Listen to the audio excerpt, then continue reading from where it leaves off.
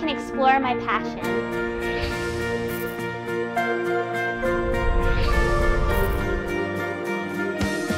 I can grow my faith.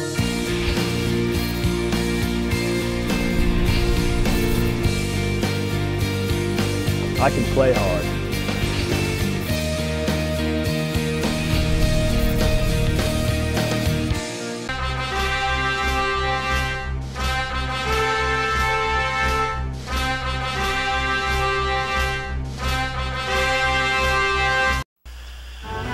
Welcome back. On today's edition of the Hank Erwin Show, we are at the Pelham Civic Center for the annual Save a Life Shelby Banquet.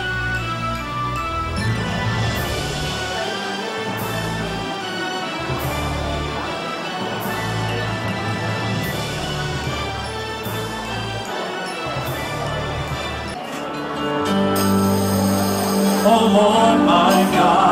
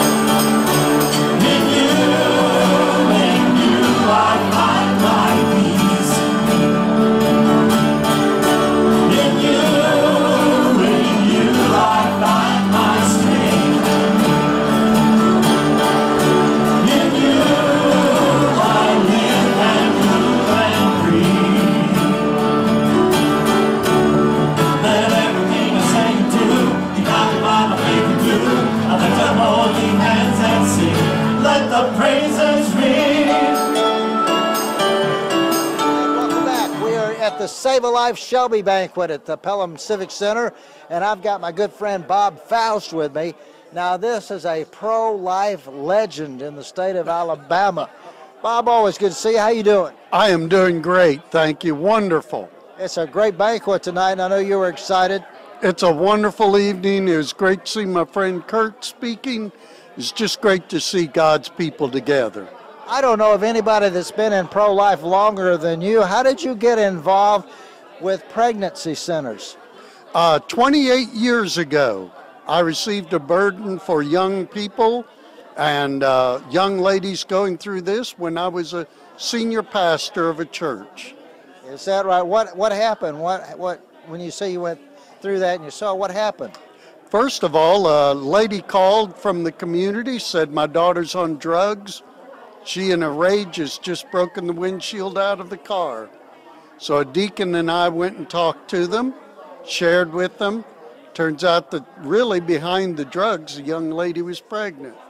And uh, she determined to carry her baby to term. Then a second young lady came to my office, and I uh, was able, Cheryl and I were able to take her to an adoption agency for counseling. And while she was there, I would sit and say, Man, this is fun. This would be great to talk to young ladies. A few weeks later, I was speaking with Wales Goebel.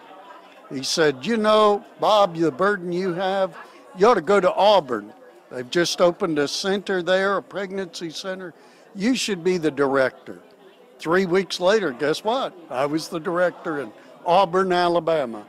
Was, that was in 1984. 1984. Yes, and after all of these years, what stands out in your mind?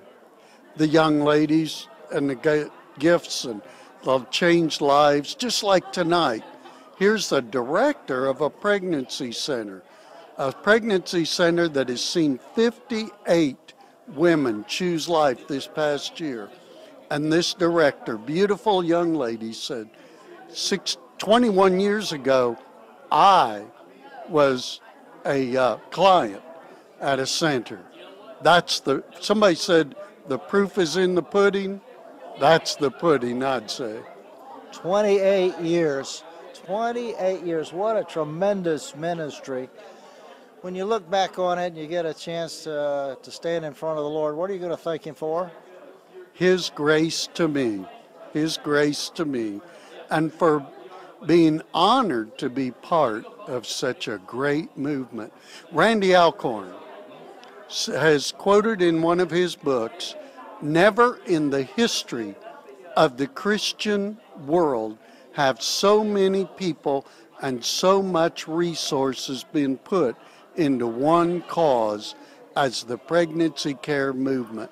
We have become a mighty movement of Jesus Christ. Amen. And I want to salute you for your leadership, being a pioneer in the effort, and for all that you've done for pro life. Uh, I know that, uh, that you deserve a thunderous round of applause. And let me just say, on behalf of my show and for me personally, thank you for being involved and thank you for all you mean for Jesus. Oh, thank you. It's it's my honor. It's been no sacrifice, no sacrifice at all. Bob Faust, one of the pioneers of the pro life movement here in the state of Alabama, with me tonight at the Save a Life banquet in Pelham. And we'll continue on this edition of the Hank Erwin Show. Stay with us.